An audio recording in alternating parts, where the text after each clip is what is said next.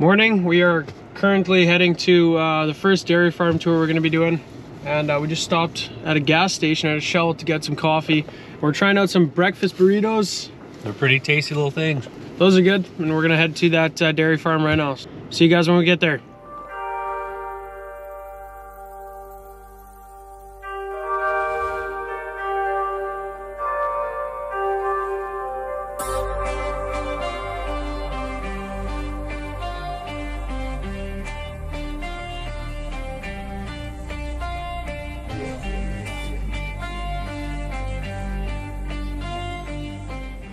So we just got to the farm and we met up with Brian here and Luke and they're gonna be touring us around the farm.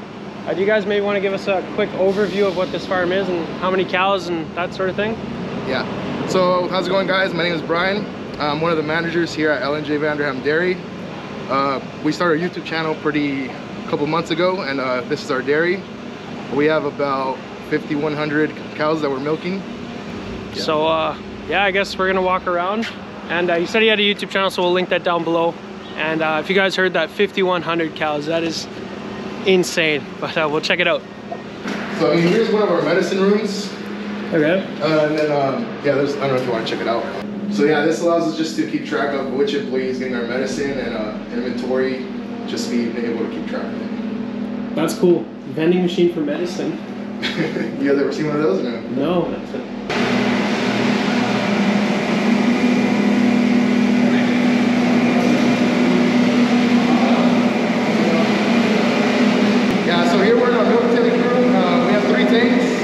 about 7,000 gallons, I believe. And uh, so here's one of the uh, milk trucks. He's taking a load right now. We usually get about eight or nine loads per day. Wow. Yeah, and there's usually one or two tanks left, so. Wow. Yeah. Some big plate coolers too, I see. Yeah. Wow. One's for each side, so then we also have one for each side. And then they all go in. One goes to the top and one to the bottom.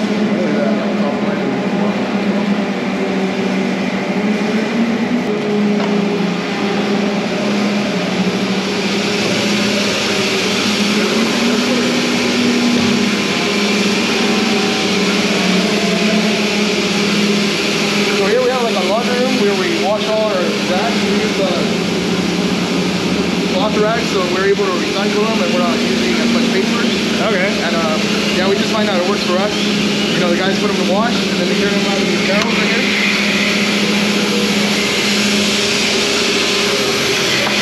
So each side is 30 cows.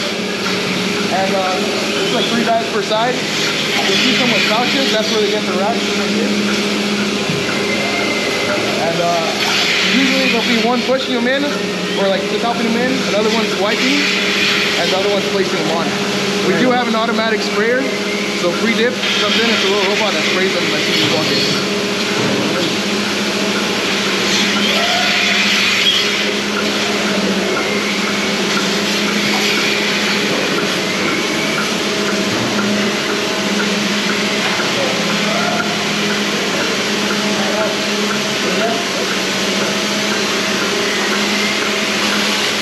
Yeah, so here you can see this is the turbo spray.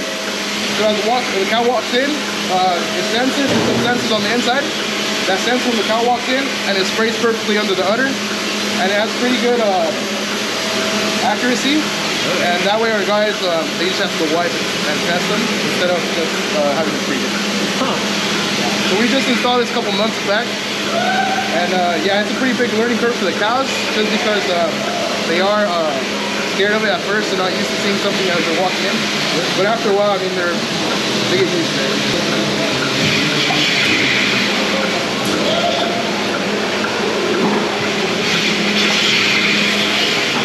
Yeah, so our guys are checking each cow, and it's pretty important just because you don't want any infections or uh, diseases in the milk. It's pretty important to give out a good quality milk.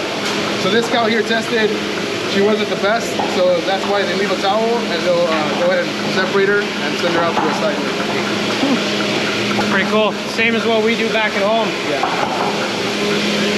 It's, it's good to see you guys are still caring about the quality, milking Yeah. this many cows still. That's always one of the main Pretty good. important parts just because we want everybody to have a good product.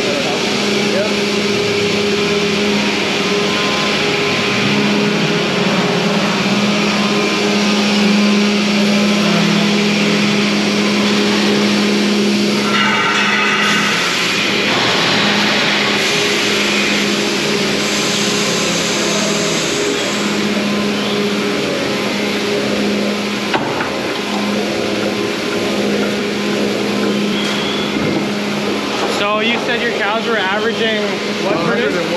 101 pounds. Yeah. That is, that's impressive. Yeah, so we don't have the most advanced system just because there is, since it is a big operation, there's lots of breakdowns and uh, there's lots of downtime with uh, newer systems. We've been thinking about putting in a new system. Uh, obviously before we were running a, a different system, but right now we're going with something very simple, which is just a little, was it? Oh yeah. You know, this really minimizes the breakdowns and uh, there's not really a lot of downtime at all. And uh, yeah, the guys are pretty efficient at it. As soon as they finish on this side, by the time it's usually done this side, we just start to off. So there's there's no auto takeoffs on here. No. No, but that's that would save on breakdowns like for sure. And then here you can see one of our guys, he's checking the cows, whatever's finished, he takes off the, the milker and sprays it with ice.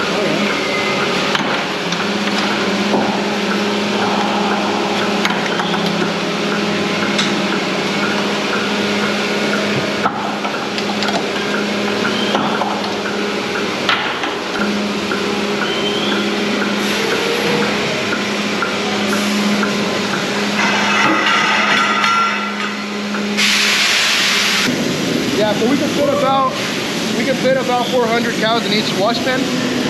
And uh, there's also these crowd gates that are go out halfway. So typically we'll split one pen in half. So one pen's about 400 cows. We'll split it in half, 200, 200 per side. And uh, pull the gate back. And then once this pen finishes, they'll just lift it up and bring the other ones forward. Wow. Yeah. So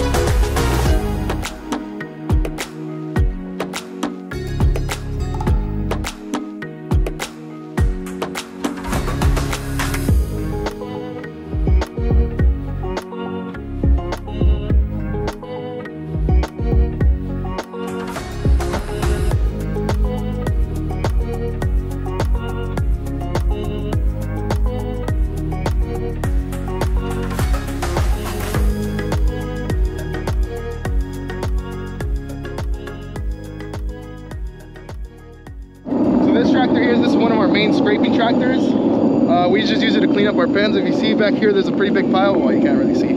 But um, yeah, we're cleaning up our pens right now just because uh, winter basically passed for us. Uh, there might be a couple rains, but not as bad anymore. And yeah, we're just really trying to clean up the pens.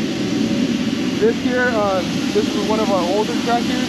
We're not using that right now, but that's what we use to rake our uh, freestall beds and also push in the feed. And with this back part, uh, he's able to like uh, sweep the alleys. Right on. Yeah. Here's the 50, 44, the 544. Uh, this is one of the loaders that we use outside as well. Um, I think it's one of the older ones. This tractor, we use it to haul our side dump. So that's part in the back. And this tractor, I believe we use it to till our uh, back barns. Okay. So um, since we are using dried manure as, a pa- as bedding, uh, we like to mix it up and make it as fluffy and soft for the cows as possible. Sweet. Yeah. It's got the rotor tiller on there. Yeah. So here you can see there's two lanes. as the cows are coming out. So if there's any cows with problems, we'll go ahead and send them on this side. And um, so they'll stay up locked up in here while the rest return to their pen to eat. And that's these cows that you see here. So these are cows that have problems or stuff, and they're just left on this uh, side pen to where they get treated later. Okay. So that's your catch pen. Yeah, catch pen. There's one on each side. Okay. How many cows can you fit in your catch pen? Uh, I'm not sure, probably about 30. At 30? That's pretty good. I guess I guess we could fit like four in ours, but uh, this is pen nine. And here we keep our cows that are um, either had a foot issue or a little lame. Just older cows that struggle, that way they don't walk as much. Okay. Keep them close to the milking parlor. Yeah, we get lots of bag and rep for being a big operation, but we truly do try to give the cows the best comfort we possibly give them, as well as take care of our animals. Absolutely. So here, this is our special needs pen.